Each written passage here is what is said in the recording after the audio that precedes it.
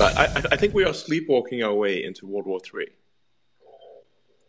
Sleepwalking our way into World War III, with with one foolish decision after another, uh, as you as you outlined, David, um, and and really people should be deeply self-reflective. If they if their predictions have not come true, they should consider whether perhaps their other predictions might not come true either.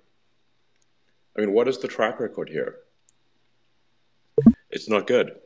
You know, it's funny in, in the investing world, you know, in the VC world in which, you know, we, we operate. Um,